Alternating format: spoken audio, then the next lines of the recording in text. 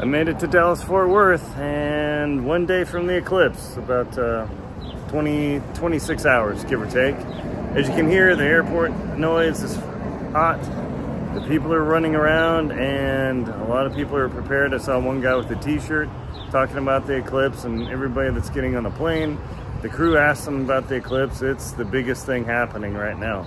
It's super exciting and right now I can see some high, uh, gosh, what are they? Not cirrus clouds, but high strato clouds right now. And as long as it stays that thin, it should be okay. Even if it goes over a bit, I won't get a perfectly clear view of the corona, but it'll still be visible. And that's a critical thing. It's those deep, puffy, cumulus clouds that wipe the view out, and I'm hoping that doesn't happen.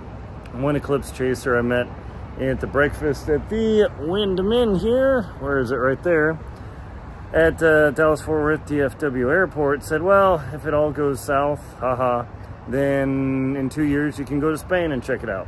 But the whole idea of this effort is to make it, check the total eclipse out and enjoy the experience because the next total eclipse to pass over the United States isn't going to be in 2045.